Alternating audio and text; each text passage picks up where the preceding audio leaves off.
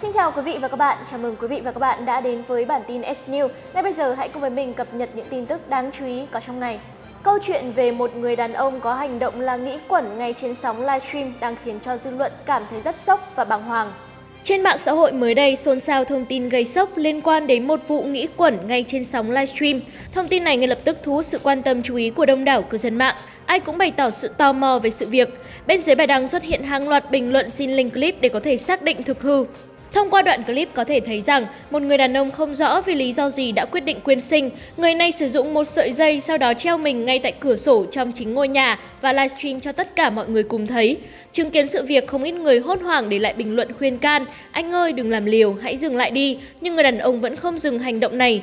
Sau một lúc gương mặt người đàn ông đã trở nên tím tái, máu cũng bắt đầu trào ra từ miệng, khiến cho rất nhiều người bàng hoàng. Hình ảnh trên sau khi được chia sẻ lên mạng xã hội đã gây ám ảnh cho nhiều người. Mặc dù không biết nguyên do dẫn đến hành động này là gì, nhưng rất nhiều người đã bày tỏ sự thương tiếc với nam nạn nhân.